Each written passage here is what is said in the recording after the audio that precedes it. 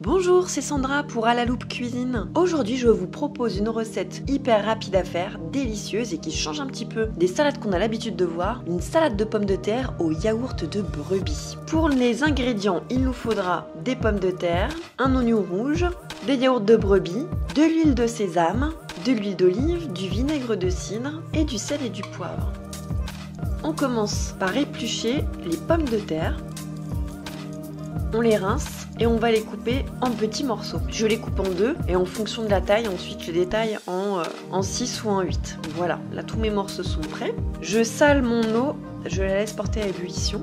Lorsque c'est le cas, je dépose mes pommes de terre. Pendant que les pommes de terre cuisent, je prépare l'oignon rouge, je l'épluche, je retire les extrémités, je le coupe en deux, je retire le germe comme d'habitude. Le germe qui n'est pas digeste, je vous le rappelle. Je coupe mon oignon dans un sens puis dans l'autre pour en faire des tout petits morceaux. Je prends que la moitié d'un oignon, ça suffit amplement.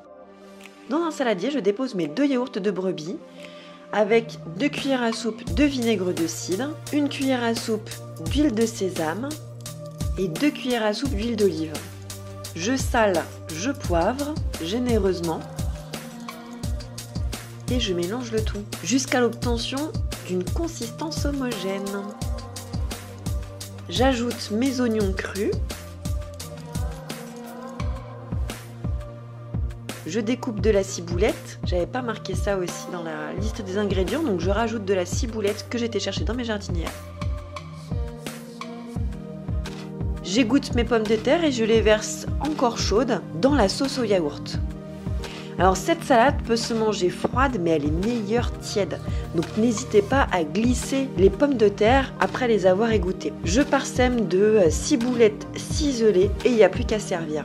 Vous pouvez manger cette salade seule, accompagnée d'une salade verte ou bien accompagnée de grillades ou ce que vous voulez. Nous on l'a mangé nature, c'était un régal. Je vous souhaite un excellent appétit. Si vous n'êtes pas encore abonné, n'hésitez pas à cliquer sur le logo à la loupe que vous voyez ici. N'hésitez pas à laisser des commentaires en bas de cette vidéo, ça me fait toujours très très plaisir de vous lire. Je vous souhaite un excellent appétit et je vous dis à la semaine prochaine pour de nouvelles recettes sur à la loupe cuisine. Bye